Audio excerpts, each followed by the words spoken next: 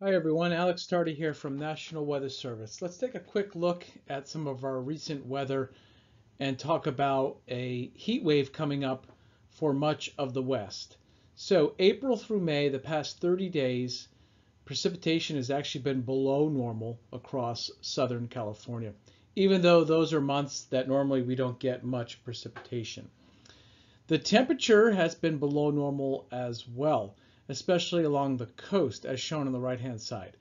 We've had about 15 cloudy days here in San Diego and up along the coast and even the inland valleys you can see temperatures are averaging a couple degrees below average.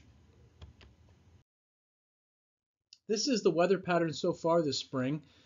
So we see a little remnant of the Pacific jet stream uh, from our past prior active winter. And that jet stream or weak upper level trough has been allowing the cooler conditions and the deep marine layer across the coastal areas and even into our valleys. We do see a blocking pattern that is set up over the central Pacific. That's the red H shown on the map.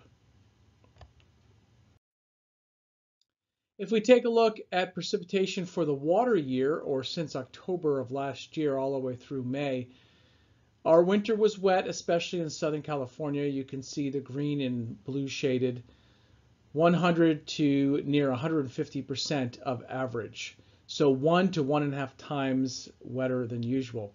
Our deserts, though, have been dry, uh, so they are below average still. Temperature indications aren't showing much, but our inland mountains and deserts did come out to be, for this past water year so far, a little bit below average in Southern California and that is a reflection of the wetter and cloudier days. If we look at the western view, you can see it's very spotty in terms of the precipitation compared to normal. Some places were wetter, like northern Utah, but southern Utah was drier than normal.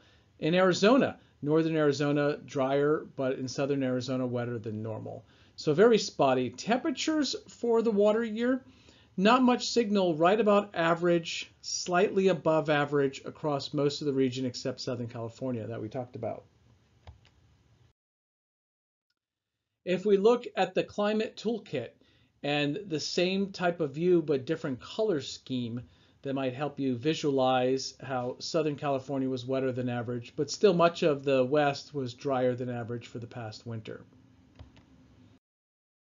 If we look at temperature, you can see that slight warming is indicated by that light pink red color across most of the west, except for some pockets of cooler than average for the past winter in Southern California.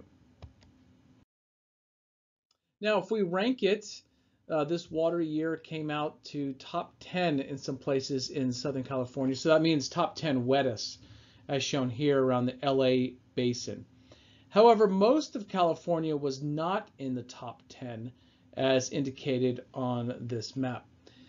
Now, the prior winter, a lot of places were in the top five wettest, even Southern California.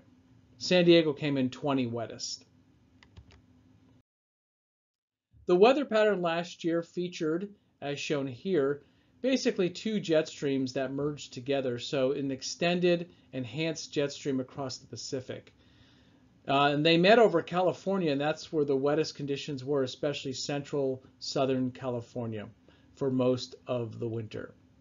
This is a map showing the average weather pattern between November and early April. The precipitation in California stood out like this.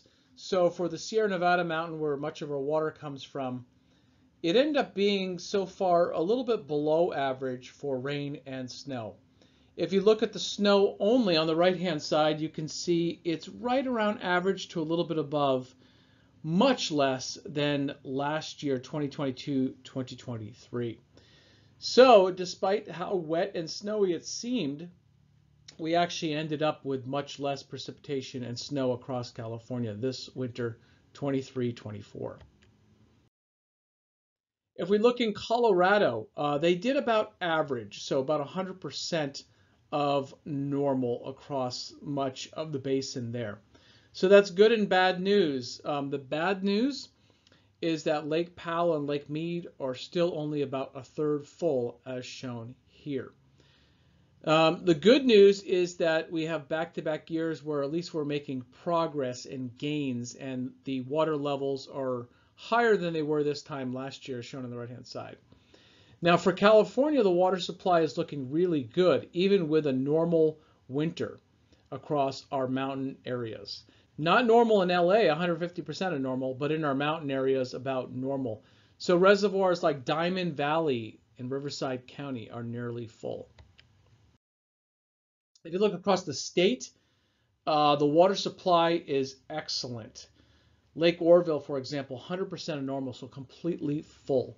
That's our, our largest reservoir, and Shasta also nearly as large, uh, a little bit larger uh, than Oroville, is 95% capacity.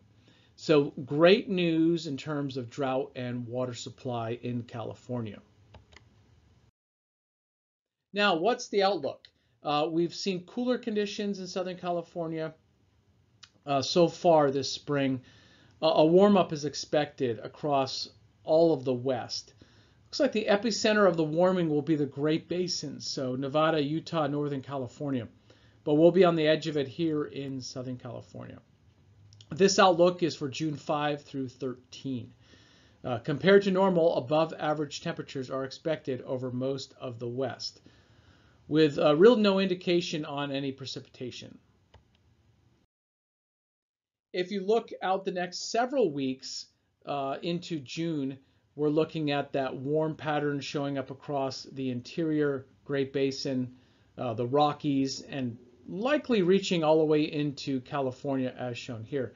No indication of precipitation. If we look for the summer months, July through September, our traditional summer, we see that same signature of uh, prolonged heat wave across the west, especially the Great Basin and part of the southwest, with California on the edge. And that will also be a factor in our monsoon with potentially below normal or drier than normal conditions in our monsoon. That's not good for what we showed earlier with Lake Powell and Lake Mead, where they can get significant precipitation even in the summer months. As a reminder, heat risk is a product we issue from the National Weather Service, and heat risk is available on a daily basis. And you can look at your area and see if the heat that is expected, the temperatures, are unusual or not. So what this does is factor in climatology or normal temperatures compared to our predicted forecast temperatures. Um, and this is also correlated with Centers for Disease Control hospitalization data. Now, um, it's available in two different forms. The graphical hazard outlook shows the same heat risk information, uh, but a different form, and also includes information about other hazards, such as lightning, thunderstorms, and wind on the same page. This information is available on weather.gov.